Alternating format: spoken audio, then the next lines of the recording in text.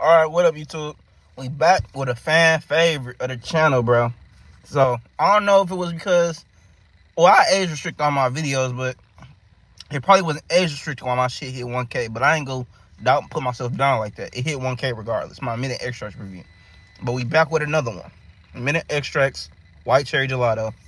Going in on a blinker. It tastes pretty good. I just hit I hit a couple taste hits. Tastes like what it tastes like. What it say it's supposed to be. White cherry gelato. Tastes just like it. Real shit. But here go a blinker for y'all.